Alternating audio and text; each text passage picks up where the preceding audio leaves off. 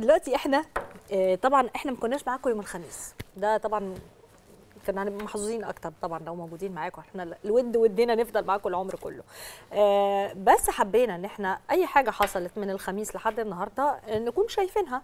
عشان كده لازم إن إحنا ننور شوية على القرارات المهمة اللي أعلنها سيادة الرئيس عبد الفتاح السيسي خلال زيارته للمنيا.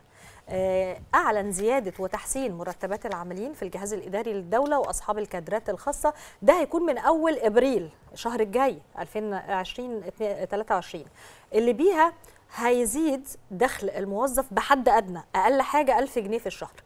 كمان كان في قرارات لسيادته بزيادة المعاشات علشان توصل 15% زيادة وزيادة معاشات برنامج تكافل وكرامة بنسبة 25% يعني الربع زيادة. وكل الزيادات دي هتطبق برضو من أول شهر إبريل اللي هو الشهر اللي جاي. تعالوا نشوف مع بعض قرارات سيادة الرئيس ونرجع تاني نكمل الكلام.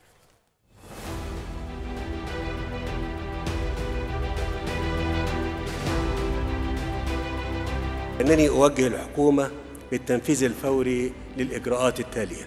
أولا التعجيل بإعداد حزمة لتحسين دخول العاملين بالجهاز الإداري للدولة وأصحاب الكوادر الخاصة اعتبارا من أول إبريل 2023 بحيث يزداد بموجبها دخل الموظف بحد أدنى 1000 جنيه شهريا. ثانيا زيادة الحد الأدنى للأجور للعاملين بالدولة وذلك على النحو التالي. بالنسبة للدرجة السادسة وما يعادلها لتكون بقيمة 3500 جنيه شهريا.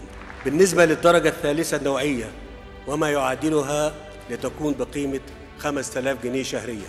بالنسبة لحاملي درجة الماجستير من العاملين بالدولة لتكون بقيمة 6000 جنيه شهريا. بالنسبة لحاملي درجة الدكتوراه من العاملين بالدولة لتكون بقيمة 7000 جنيه شهريا.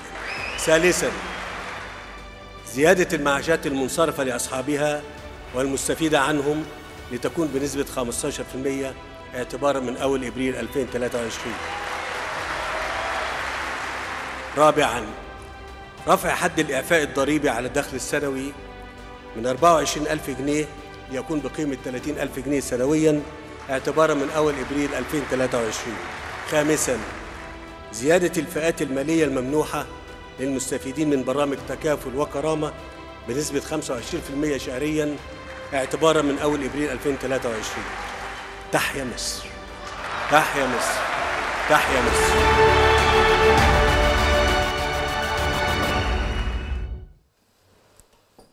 شفتوا فرحة الناس يعني ربنا يفرح قلبك سيادة الرئيس.